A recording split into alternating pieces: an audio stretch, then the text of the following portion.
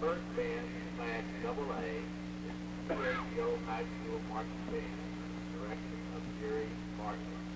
Drum majors are Tony Cummington and Mary Huntsman. Drum majors, you may begin.